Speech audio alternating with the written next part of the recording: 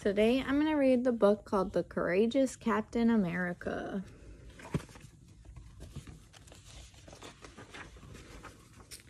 America has always been a land of opportunity. People come to America from all over the world for the freedom to make their dreams come true. No one loved America more than Steve Rogers, but who would believe this average young man was really Captain America?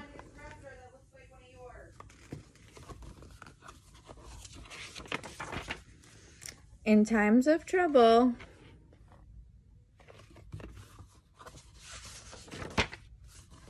Captain America was ready to face any challenge.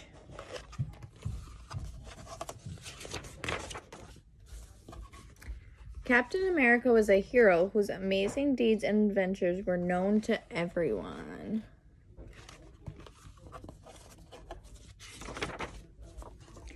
Captain America was very strong and he was very fast. Captain America bravely traveled anywhere he was needed.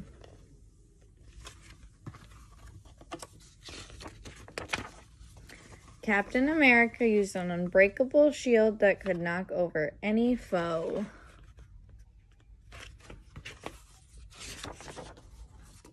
But Steve Rogers had not always been so fit. In fact, he had once been weak and sickly, so he agreed to be part of a super secret experiment.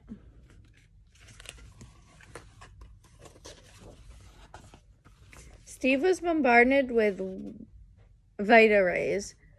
The rays gave him fantastic strength and speed, more than anybody had ever possessed.